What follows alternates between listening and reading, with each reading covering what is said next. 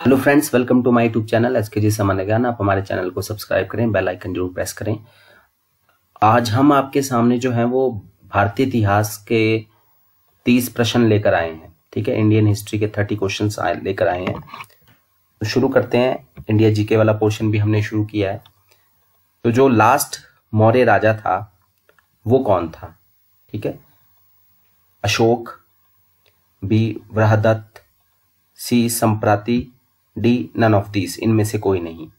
आखिरी मौर्य राजा कौन था? आखिरी मौर्य सम्राट कौन था?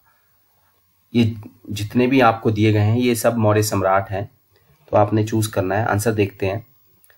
तो जो लास्ट मौर्य सम्राट था, वो वृहदत्त था। ठीक है? और वृहदत्त जो था, वो लास्ट मौर्य सम्राट था, और उसका जो सेनापति था पुष्यमित्र सुंग।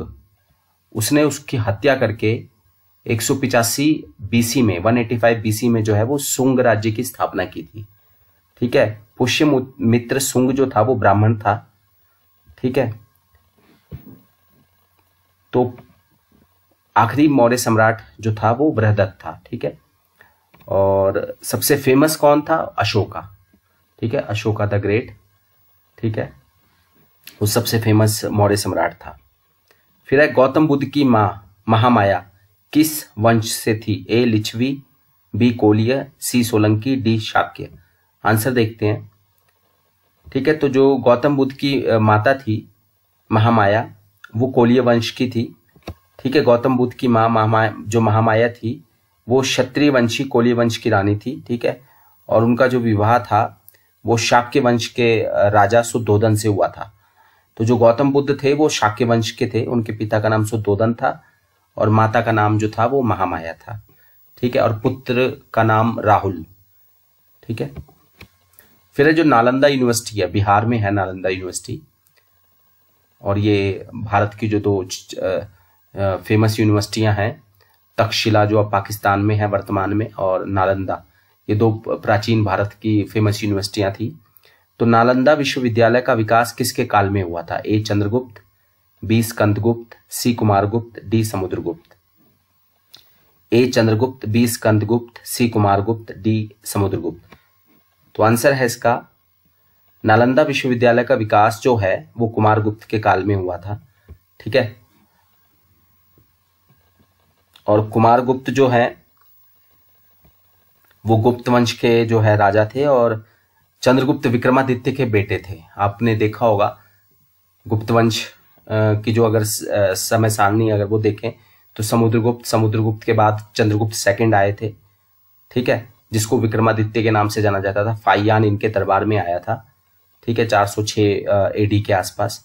और उसके बाद फिर जो है, वो कुमारगुप्त का टाइम आता। तो कुमारगुप्त जो है, इन्होंने नालंदा यूनिवर्सिटी का जो है, विकास में महत्वपूर्ण योगदान दिया था। ठीक है फिर बौद्ध धर्म जो है वो दो हिस्सों में बट गया था। महायान और हीनयान। ठीक है एक पुराना धर्म था एक नया धर्म था। ठीक है तो इसका विभाजन किस संगति में हुआ था? पहली संगति दूसरी संगति तीसरी संगति चौथी संग, चौथी संगति। एक्चुअली एक तरह से सम्मेलन होते थे कॉन्फ्रेंसिस होती थी। तो बौद्ध संगतियाँ यानी कि बौद्ध सम्मेलन होते थे। तो पहला सम्मेलन हुआ फिर उसके बाद दूसरा सम्मेलन हुआ फिर तीसरा हुआ फिर चौथा हुआ। ठीक है तो इस तरह के जो चार बौद्ध संगतियाँ टोटल हुई चार बौद्ध संगतियाँ हैं, ठीक है? तो महायान और हीन यान में जो है बौद्ध धर्म विभाजित कौन सी संगति में हुआ था? कौन से सम्मेलन में हुआ था एक तरह से? तो ये चौथा सम्मेलन था, ठीक है? तो जो चौथा सम्मेलन था, उसमें बौद्ध धर्म जो है वो महायान और हीनयान ठीक है? इन जो धर्मों में जो है वो विभाजित हो गया। एक धर्म में भगवान बुद्ध को जो है वो उसकी मूर्ति पूजा, भगवान बुद्ध को भगवान मान के मूर्ति पूजा शुरू हो गई, जबकि दूसरे में उनको गुरु का दर्जा था और मूर्ति पूजा नहीं थी। ठीक है तो ये अलग अलग सेक्ट्स निकल पड़े थे। ठीक है, ये चौथी बौद्ध संगति हुई थी, बहत्तर एडी में, बहत्तर ईस्वी में हुई थी, कश्मीर के कुंडल वन में। ठीक है, और इसकी अध्यक्षता वसुमित्र ने की थी। ठीक है, फिर नेक्स्ट क्वेश्चन मैगस्थनीज ने भारत के बारे में जो भी वर्णन किया है, था अपनी पुस्तक में तो उसमें से कौन सी बात उसकी गलत जो उसने नहीं बोली थी? भारत में प्रचुर मात्रा में सोना, चांदी तांबा और लोहा है। ठीक है, भारत में सुव्यवस्थित जाति व्यवस्था है। भारत में अक्सर अकाल पड़ते हैं। डाइनोसियस ने भारत पे आक्रमण किया है। तो ये कुछ स्टेटमेंट्स हैं जो मैगस्थनीज ने बोली हैं। इनमें से कौन सी स्टेटमेंट उसने नहीं बोली थी अपनी पुस्तक आपको पता है मैगस्थनीज की पुस्तक थी, वो मैं बाद में बात करेंगे, उसके बारे में आंसर देखते हैं। तो भारत में अक्सर अकाल पड़ते हैं, ये मैगस्थनीज ने अपनी पुस्तक में कहीं नहीं लिखा था। ठीक है? तो जो मैगस्थनीज की जो पुस्तक थी, उसका नाम था इंडिका। ठीक है? और मैगस्तनीस किसके दरबार में आया था? चंद्रगुप्त मौर्य के दरबार में आया था। ठीक है? तो चंद्रगुप्त मौर्य के दरबार में आया था और उसने किताब लिखी थी इंडिका और उसमें ये सारी बातों का वर्णन किया था। लेकिन इसका वर्णन नहीं किया था कि भारत में अक्सर अकाल पड़ते हैं। फिर सिंधु घाटी सभ्यता के किस स्थान से जो है अग्नि वेदिकाएँ जो है प्राप्त हुई हैं? A Mohenjodaro B, Lothal, C, Kalibanga, D, लो, ये दोबारा से आ गया लोथल। आंसर चेक करते हैं इसका। सिंधु घाटी सभ्यता के किस स्थान से जो है अग्नि वेदिकाएँ जो है वो प्राप्त हुई हैं? तो ये कालीबंगा से हुई है। कालीबंगा जो है वो राजस्थान में है, ठीक है? तो कालीबंगा जो है राजस्थान में है इस समय। और ये सिंधु घाटी सभ्यता का एक प्रमुख स्थान है। मोहनजोदड़ो और लोथल के साथ, हड़प्पा भी है वहाँ का एक फ़ेमस स्थान। ठीक है, यहाँ से ऊंटों की हड्डियाँ, अग्निवेदिकाएँ और जुते हुए जो खेत हैं, उसके प्रमाण या साक्ष्य जो है वो मिले हैं। ठीक है तो सिंधु घाटी सभ्यता के किस स्थान से अग्निवेदिकाएँ प्राप्त हुई हैं? ये कालीबंगा से हुई हैं। लोथल गुजरात में है, ये यहाँ पे डॉकयार्ड जो है वो मिला था, एक तरह से जो जहाँ पे समुद्री जहाज़ जो है वो आके रुकते थे।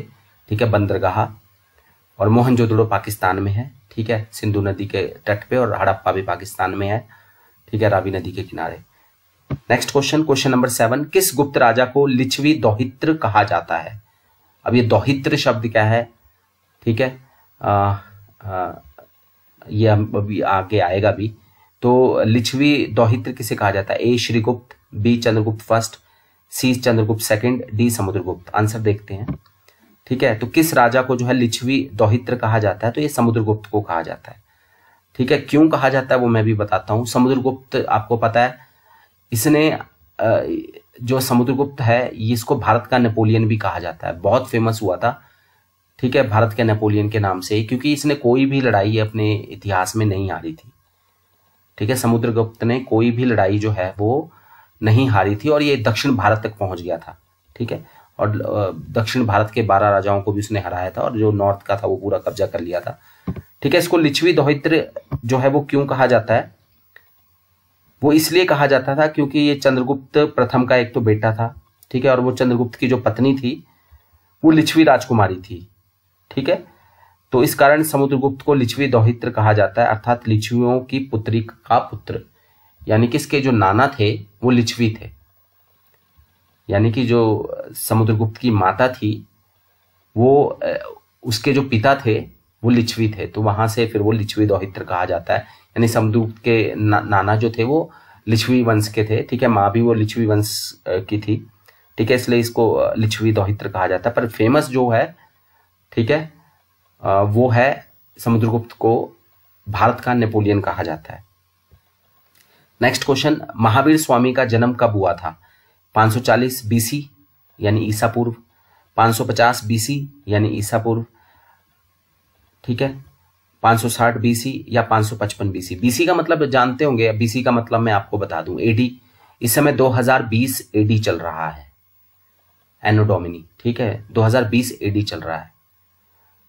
और बीसी का मतलब है कि जो 2020 में 540 साल जोड़ देंगे, यानी कि 540 अगर हम बीसी की बात करेंगे तो 2020 से भी 540 साल पहले। 550 का मतलब है 2020 से भी 550 साल पहले। ठीक है ये माइनस में चलता है। ठीक है तो आंसर देखते हैं महावीर स्वामी का जो जन्म है वो 540 ईसा पूर्व में हुआ था। ठीक है आ, कई बार इस इनकी डेट्स के बारे में कंफ्यूजन होती है लेकिन असली चीज़ है कि महावीर स्वामी का जन्म कहाँ पे हुआ था? कुंडल ग्राम वैशाली में हुआ था कुंड ग्राम वैशाली में। और पावापुरी में इनकी जो है वो मृत्यु हुई थी, ठीक है? गौतम बुद्ध का जन्म आपको पता है, लुम्बिनी में हुआ था, ठीक है? ज्ञान कहाँ प्राप्त हुआ था, ठीक है? तो ये चार स्थान है बोध गया है, ठीक है? सारनाथ है तो सारनाथ में इन्होंने पहला उपदेश दिया था बोध गया में इनको ज्ञान प्राप्त हुआ था। लुम्बिनी में जो है वो गौतम बुद्ध का जन्म हुआ था, ठीक है? और कुशीनगर में जो है गौतम बुद्ध की मृत्यु हुई थी। तो गौतम बुद्ध से रिलेटेड चार स्थान है और महावीर स्वामी से रिलेटेड दो स्थान है। एक तो जन्म, वैशाली के कुंडंग्राम में और मृत्यु कहाँ पर हुई है? मृत्यु जो है, वो कहाँ पर हुई है? वो पावापुरी में हुई है, ठीक है? फिर question number nine Harshacharita की रचना किसने की है? A Bana Bhatta B, Hiuen Tsang, C, Harshavardhan, D, Rajyashri. A Bana Bhatta B, Hiuen Tsang, C, Harshavardhan, D, Rajyashri. तो हर्ष चरित की रचना जो है वो बाण भट्ट ने की है। बाण भट्ट जो था वो हर्ष का दरबारी था। दरबारी कवि कह लो आप राज कवि कह लो। बाण भट्ट हर्षवर्धन का राज कवि था और उसने एक फ़ेमस नाटक की रचना भी है। बहुत फ़ेमस किताब है ये, नाटक है कादम्बरी तो कई बार क्वेश्चन भी पूछा जाता है कादम्बरी किसकी रचना है? तो ये जो है, ये बाण भट्ट की रचना है, ठीक है?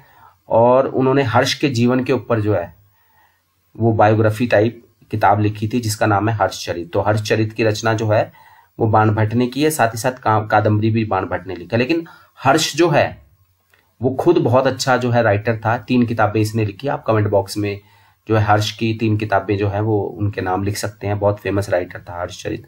606 जो एडी के आसपास जो है, ये राजा बना था। ठीक है? और इसने हर्षवर्धन के नाम से जाना जाता था। वर्धन साम्राज्य के एस्टेब्लिशमेंट किया था। फिर नंद वंश की स्थापना किसने की थी? नंद वंश ठीक है? A Mahapadma Nanda B Dhanananda, C Shishunaga, D Kalashoka. A Mahapadma Nanda B Dhanananda, C Shishunaga, D Kalashoka. तो नंद वंश की स्थापना जो है, वो महापदम नंद ने की थी। ठीक है? और नंद वंश के जो आखिरी राजा थे वो कौन थे? नंद वंश की स्थापना 345 ईस्वी बीसी में महापदम नंद ने की थी 16 वर्ष तक राज किया था। ठीक है, इसे क्षत्रियों का विनाश करने वाला बताया गया। और इसके जो लास्ट राजा थे, वो धनानंद थे। ठीक है, जिनकी, जिनको गद्दी से उतार के जो है, वो चंद्रगुप्त मौर्य वो राजा बना था। चाणक्य और चंद्रगुप्त, चाणक्य जो कि उसका गुरु था, चंद्रगुप्त मौर्य का। फिर है मौर्य वंश की स्थापना भी की थी उसने, चंद्रगुप्त मौर्य ने धनानंद को हटा के, पर पहला राजा था महापदम नंद फिर मोहम्मद गौरी ने पहली बार भारत पर अटैक कब किया? ए, ग्यारह सौ बहत्तर, बी, ग्यारह सौ पिछहत्तर, सी, ग्यारह सौ अठहत्तर, डी, ग्यारह सौ बयासी। आंसर देखते हैं। ठीक है, मोहम्मद गौरी ने जो है वो ग्यारह सौ पिछहत्तर में भारत पर पहली बार जो है वो आक्रमण किया था। ठीक है, और मुल्तान पे उसने अटैक किया था। बहुत फ़ेमस है तराइन की दो लड़ाइयाँ। 1191 की तराइन का पहला युद्ध, मोहम्मद गौरी और पृथ्वीराज चौहान, जिसमें पृथ्वीराज चौहान जो है वो जीत गए थे और उन्होंने मोहम्मद गौरी को माफ़ कर दिया था। उसके ठीक एक साल बाद, ग्यारह में फिर से तराइन की दूसरी लड़ाई हुई, जिसमें मोहम्मद गौरी ने पृथ्वीराज चौहान को हरा दिया, लेकिन उसने उसे माफ़ नहीं किया था। ठीक है, पृथ्वीराज चौहान को। तो तराइन के दो लड़ाइयाँ बहुत फ़ेमस हैं और यहीं से फिर भारत में जो है वो एक तरह से दिल्ली सल्तनत की स्थापना का जो है मार्ग प्रशस्त हो गया था। ठीक है? दिल्ली सल्तनत उसके ठीक ग्यारह सौ इक्यानवे, बानवे में तराइन के दो युद्ध हुए थे और ठीक उसके चौदह साल बाद दिल्ली सल्तनत एस्टेब्लिश हो गई थी 1206 से लेकर 1526 तक और उसके बाद फिर 1526 से लेकर अठारह तक मुगल साम्राज्य और फिर आपको पता ही है हिस्ट्री इस तरह से चलती है। तो मोहम्मद गौरी जो है पहला अटैक उसने ग्यारह में किया था, लेकिन वो ज़्यादा कोई इफ़ेक्टिव नहीं हो पाया था जब तक वो तराइन की उसने सेकेंड लड़ाई नहीं जीती थी। इसको भारतीय इतिहास की बहुत महत्वपूर्ण लड़ाई माना जाता है। तराइन का दूसरा युद्ध, दिल्ली सल्तनत एस्टेब्लिश कर दी थी। किसके काल में मुगल चित्रकला का स्वर्ण काल कहा जाता है? जो मुगल मतलब एक तरह से जो पेंटिंग का गोल्डन पीरियड किसको कहा जाता है? चित्रकला का गोल्डन पीरियड स्वर्ण काल किसको कहा जाता है? अकबर के समय को, जहांगीर के समय को, शाहजहां के समय को या औरंगज़ेब के समय को? आंसर देख लेते हैं। आंसर जो है, वो जहांगीर के टाइम को मुगल चित्रकला का बहुत ज़्यादा विकास हुआ था। बहुत सारे फ़ेमस चित्रकार थे इसके टाइम में। ठीक है? और इसको गोल्डन पीरियड कहा जाता है। ठीक है? चित्रकला का भी ओवरऑल चित्रकला का भी कहा जाता है। पेंटिंग का स्वर्ण काल कहा जाता है। ठीक है? फिर किस सल्तनत कालीन सल्तन मैंने कहा ना, दिल्ली सल्तनत एस्टेब्लिश हो गया था 1206 ठीक है? गुलाम वंश की स्थापना, फिर खिलजी आए। ठीक है, तुगलक आए, इस तरह से जो है वो लास्ट जो है वो लोधी थे, ठीक है, बीच में सैयद आए।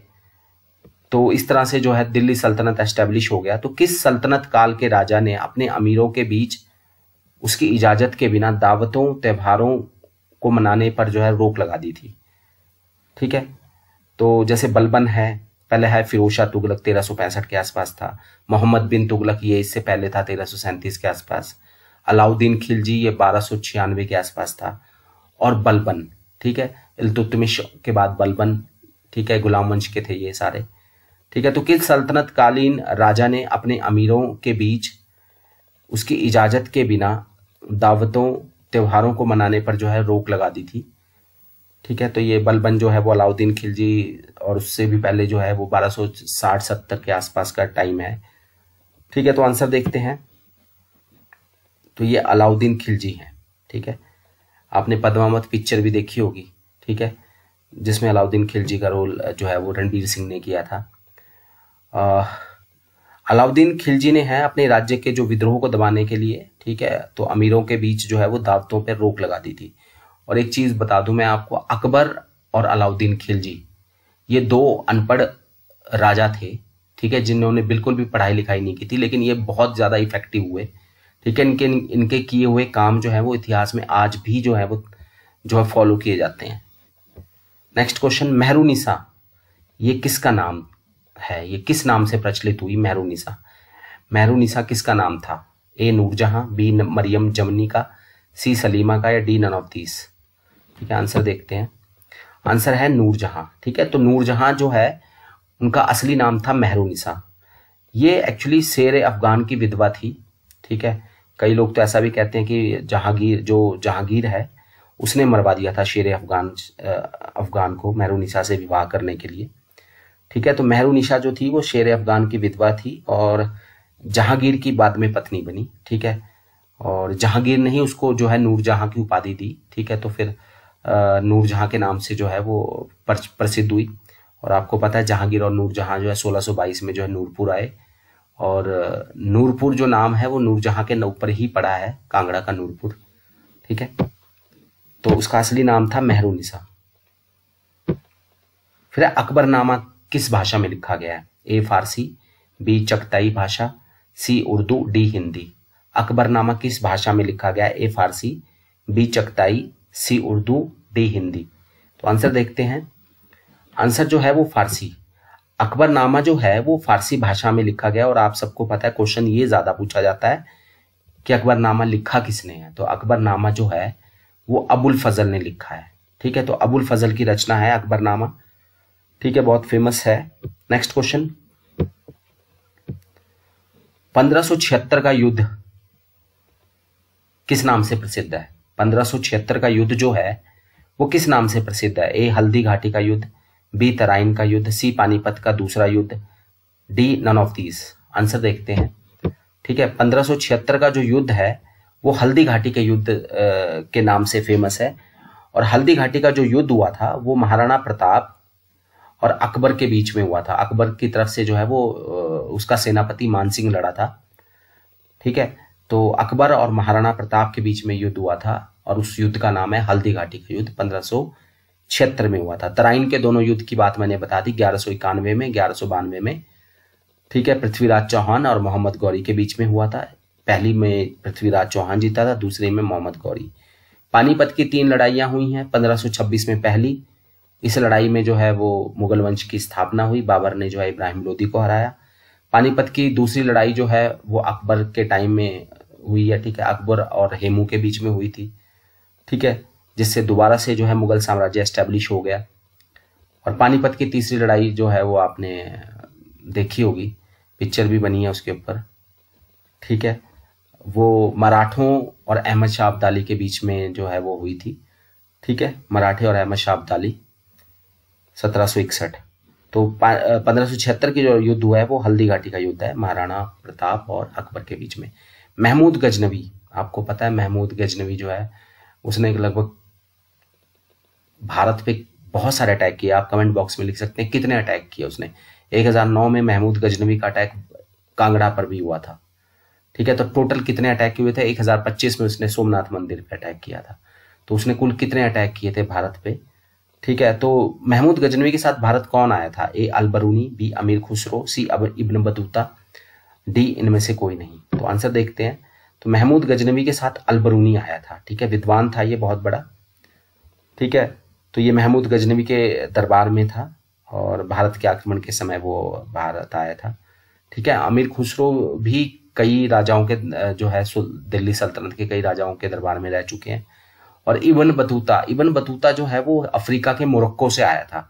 ये क्वेश्चन बहुत बार पूछा जाता है कि इबन बतूता जो है वो कहाँ से आया था? तो मोरक्को से आया था, अफ्रीका के मोरक्को से। ठीक है, नेक्स्ट क्वेश्चन, इकता प्रथा। ठीक है, ये खत्म किसने की? शुरू किसने की मैं अब आएगा भी आंसर में, लेकिन खत्म किसने की? A, Alauddin Khilji, B Balban C, Akbar, D, Mohammad bin Tughlaq. ठीक है? एकता प्रथा किसने शुरू की? A, Alauddin Khilji, B Balban C, Akbar, D, Mohammad bin Tughlaq. Answer देखते हैं। ठीक है? तो जो अलाउद्दीन खिलजी था उसने जो है एकता प्रथा जो खत्म की, दक्कन को जीता था अलाउद्दीन खिलजी ने। पहला राजा था जिसने दक्कन, यानी दक्षिण भारत में एंट्री मारी थी अलाउद्दीन खिलजी। तो एकता प्रथा उसने खत्म की थी और शुरू किसने की थी? वो की थी इलतुतमिश ने, ठीक है? इलतुतमिश ने जो है एकता प्रथा जो खत्म की थी वो अलाउद्दीन खिलजी ने की थी और इसको शुरू किया था इलतुतमिश ने, ठीक है? इलतुतमिश ने जो है कुतुब मीनार की लास्ट मंजिल भी बनाई है। ठीक है? कुतुबुद्दीन ऐबक ने जो है कुतुब मीनार का निर्माण शुरू करवाया था। तीन चार मंजिलें उसने बनवा दी थी, लेकिन उसको फिनिश जो है वो लास्ट मंजिल जो है वो इलतुतमिश ने बनवाई थी, ठीक है? गुलाम मंच के। और इकता प्रथा थी क्या? इसमें क्या है कि सैनिकों को या राज्य के जो अधिकारी होते थे, उनको जो सैलरी नहीं देते थे, वेतन नहीं देते, उसके बदले उनको भूमि दी जाती थी। तो ये प्रथा जो है वेतन के बदले भूमि देने की प्रथा जो है सैनिकों और राज्य अधिकारियों को ये खत्म कर दी थी अलाउद्दीन खिलजी ने, ठीक है, जिसे शुरू किया था इल्तुतमिश ने। फिर है जीटी रोड, जिसको ग्रैंड ट्रंक रोड कहा जाता है। ये एक्चुअली पाकिस्तान के पेशावर से लेके और बांग्लादेश, कलकत्ता से होते हुए, दिल्ली से होते हुए ये बांग्लादेश तक जाता है, ठीक है कल तो ये जो है, इसका पुनर्निर्माण किसने किया था? यानी कि जीटी रोड एक्चुअली कई बार क्वेश्चन इस तरह से पूछा जाता है कि जीटी रोड बनाया किसने था? ग्रैंड ट्रंक रोड किसने बनाया था? ठीक है, पुनर्निर्माण की बात इसमें एग्जैक्ट क्वेश्चन ये बताया गया तो A Akbar B Aurangzeb C Sher Shah Suri D Jahangir. Answer देखते हैं। तो जो जीटी रोड का निर्माण, पुनर्निर्माण लिखा है, जो निर्माण किया वो शेरशाह सूरी ने किया है। ठीक है? और एक्चुअली जो जीटी रोड है, वो मौर्य काल में बन चुका था, लेकिन उसको उत्तर पथ के नाम से जाना जाता था। इसका सही तरीके से जो निर्माण है, वो शेरशाह सूरी ने करवाया था। ठीक है? सड़क आज़म नाम रखा था उसने। और वर्तमान में वो ग्रैंड ट्रंक रोड के नाम से फ़ेमस है, ठीक है? अमृतसर, पेशावर से अमृतसर अमृतसर से दिल्ली, जिसको नेशनल हाईवे वन भी कहा जाता है। शाहजहां की मृत्यु कब हुई थी? ए सोलह अठावन बी सोलह सौ साठ सी सोलह बासठ डी सोलह छियासठ। आंसर देखते हैं सीधा, ठीक है? औरंगज़ेब की जो सॉरी शाहजहां की जो मृत्यु है, जो उसकी डेथ हुई थी, वो सोलह में हुई थी। एक्चुअली औरंगज़ेब ने जो है, वो अपने पिता शाहजहां को कैद कर लिया था सोलह में। ठीक है? और आठ साल बाद जेल में ही उनकी मृत्यु हुई थी। ठीक है? जो उत्तराधिकार का युद्ध हुआ था शाहजहां के चार बेटों में। ठीक है? जिसके जो चार बेटे थे, उसमें औरंगज़ेब विजयी हुआ था। ठीक है? बाकी भाइयों को हराकर। तो औरंगज़ेब ने जो है उत्तराधिकार के युद्ध के दौरान जो है अपने पिता को जो है वो बंदी बना लिया था और बाद में सोलह में जो है शाहजहां की मृत्यु हुई। शाहजहां आपको सबको पता है, ताजमहल का निर्माण किया था शाहजहां ने। फिर है आधुनिक भारत के क्वेश्चन भारतीय राष्ट्रीय कांग्रेस का जो अठारह का अधिवेशन है, वो किसके लिए फ़ेमस है? 1896 आपको पता ना, भारतीय राष्ट्रीय कांग्रेस की स्थापना अठारह में हुई थी बंबई में। पहला अधिवेशन हुआ था, उसके बाद अठारह फिर लगभग हर साल जो है, वो भारतीय राष्ट्रीय कांग्रेस के जो है, वो अधिवेशन हुआ करते थे। तो जो 1896 का अधिवेशन है, वो किस लिए फ़ेमस था? पहली बार वहाँ पे राष्ट्रीय गान गाया गया था, यानी नेशनल एंथम गाया गया था। यानी कि जनगण मन पहली बार वहाँ राष्ट्रीय गीत गाया गया था, यानी कि वंदे मातरम गाया गया था। या पहली बार वहाँ पे तिरंगा लहराया था। मैं तिरंगे के बारे में और डी इनमें से कोई नहीं। भारतीय जो तिरंगा है, ऐसा कहा जाता है, पहली बार जो स्टुटगार्ड जर्मनी में है, मैडम भीकाजी कामा ने फहराया था। स्टुटगार्ड जर्मनी में, मैडम भीकाजी कामा।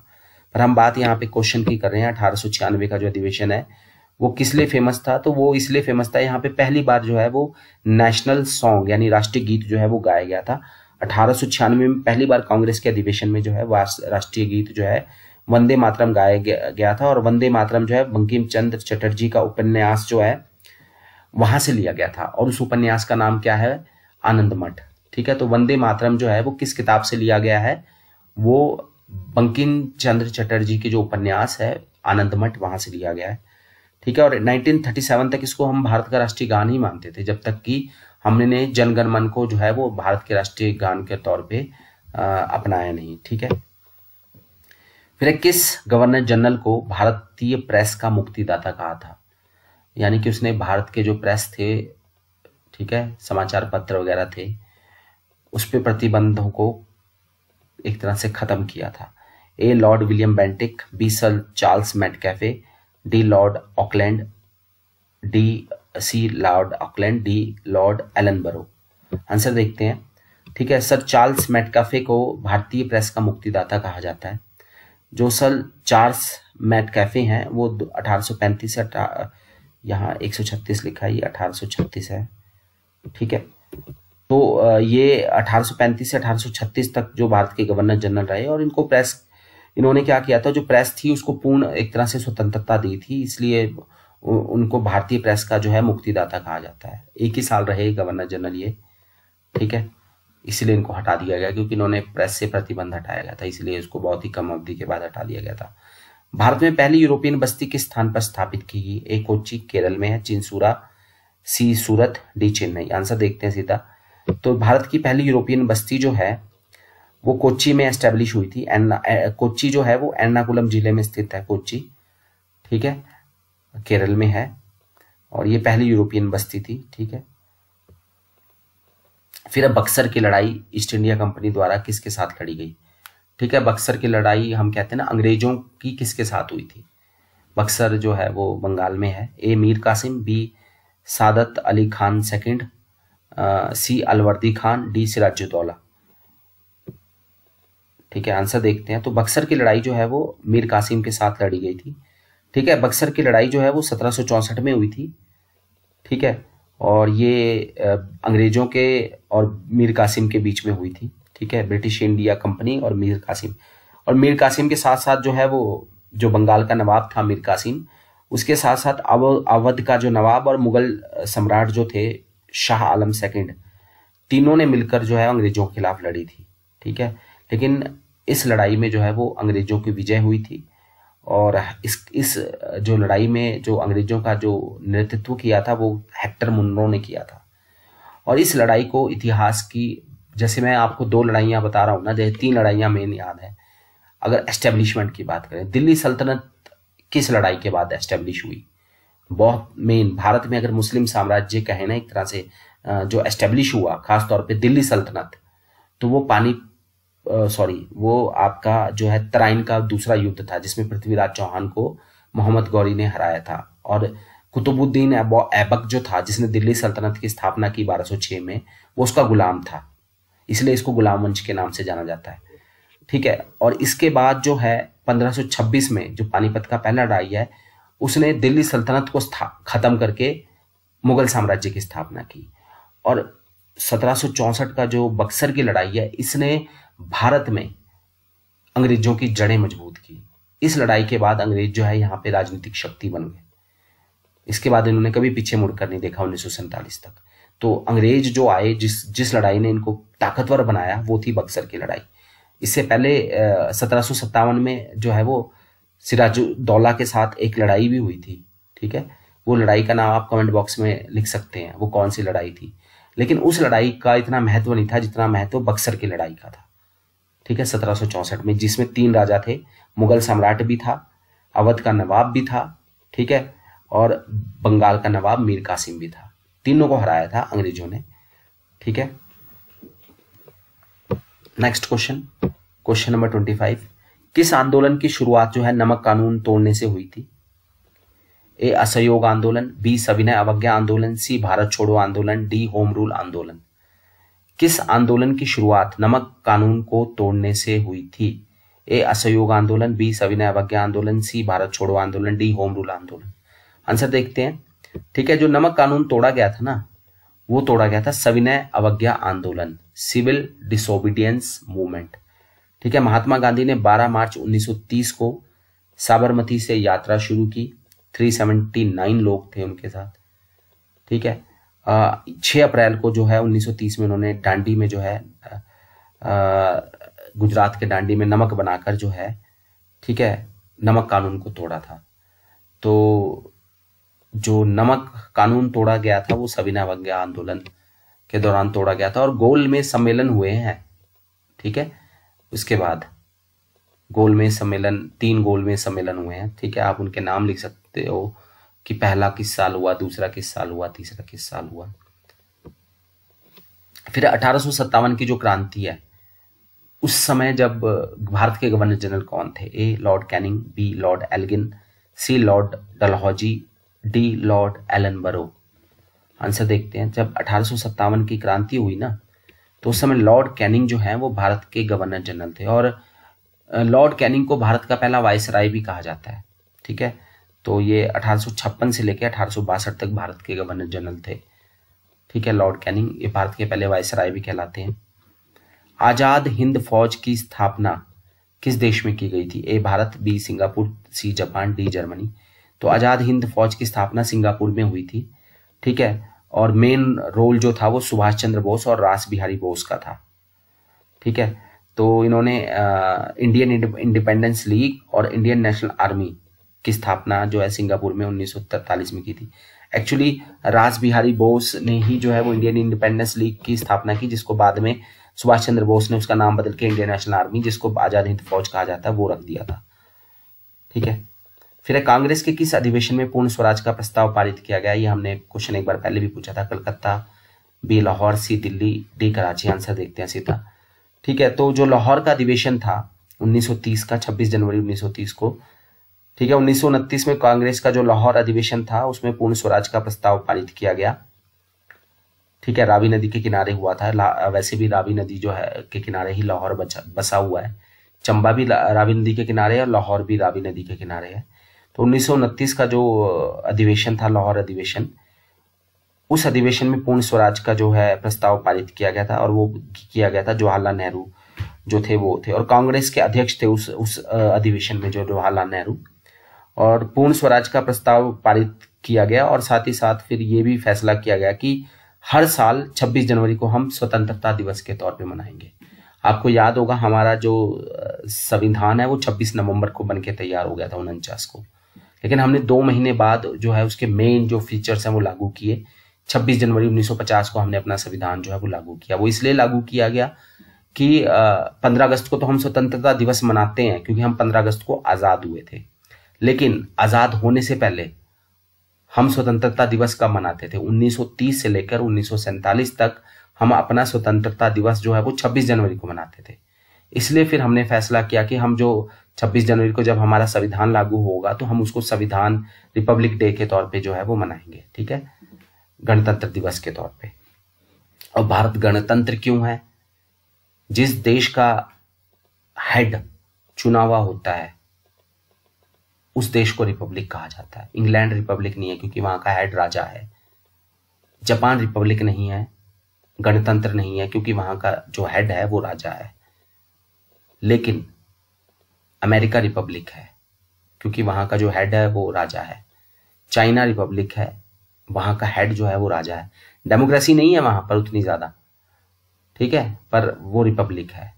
इसी तरह से भारत रिपब्लिक है, क्योंकि यहाँ का जो राष्ट्रपति है, वो इलेक्टेड है, चुना हुआ है। ना कि वंशानुगत राजा है, ठीक है? अगर यहाँ राजा होता तो भारत रिपब्लिक नहीं होता, इसलिए हम ठीक है? फिर है वेदों की और लौटों का नारा किसने दिया? A, Swami Vivekananda, B, Swami Dayanand Saraswati, C, Ramakrishna Paramahamsa, D none of this answer देखते हैं सीधा। तो वेदों की और लौटों का नारा जो है वो स्वामी दयानंद सरस्वती ने दिया था, ठीक है? स्वामी दयानंद सरस्वती ने अठारह में जो है आर्य समाज की स्थापना भी की थी, बॉम्बे में। संस्कृत और वेदों के प्रखंड विद्वान भी थे वो। और भारत में जो है वेदों की जो छपाई का काम है, वो उन्होंने ही शुरू करवाया था। और सबसे फ़ेमस बुक जो है उनकी सत्यार्थ प्रकाश है, ठीक है? सत्यार्थ प्रकाश, ठीक है? तो वेदों की और लौटों का नारा जो है, वो स्वामी दयानंद सरस्वती ने ही शुरू किया था, ठीक है? लास्ट क्वेश्चन है साइमन कमीशन किस वायसराय के कार्यकाल के दौरान भारत में आया था? A lord Irwin B lord Chelmsford C lord Willingdon D lord Linlithgow answer देखते हैं। तो जो साइमन कमीशन है, वो लॉर्ड इरविन के टाइम में आया था।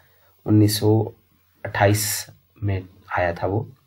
ठीक है, लॉर्ड इरविन को 3 अप्रैल 1926 को भारत का वायस राय और गवर्नर जनरल नियुक्त किया गया। ठीक है, और 1927 में जो है साइमन कमीशन का गठन किया गया। और उसके अध्यक्ष कौन थे साइमन कमीशन के? वो स्टैफोर्ड क्रिप्स थे। ठीक है, और उसके सात मेंबर थे, सात के सात मेंबर जो थे वो अंग्रेज़ थे। और इसीलिए साइमन गो बैक का नारा लगाया गया था कि भाई विरोध किया जा रहा था कि सारे के सारे मेंबर, आपने भारत के बारे में फैसला करना है, लेकिन भारत का किसी भारत के किसी सदस्य को शामिल ही नहीं किया गया। सारे के सारे आपने इसमें जो है ब्रिटिश सदस्य रख लिए, अंग्रेज़ रख लिए। ठीक है? और ये जो साइमन कमीशन है, ये 1928 में यहाँ पर भारत में आया था। ठीक है? और साइमन गो बैक, और आपको पता है फिर लाठी चार्ज में जो है, वो लाल लाजपत की जो है मृत्यु भी हुई थी। ठीक है? मेन उद्देश्य ये था कि साइमन कमीशन का कि 1919 के जो जो मॉन्टेक्यू चेम्सफोर्ड रिपोर्ट थी, उसको अध्ययन करना था उसका, ठीक है? वो इसका मेन काम था। और उसके, उसमें जो है वो सुधार के वो प्रस्तुत करने थे। तो धन्यवाद थैंक यू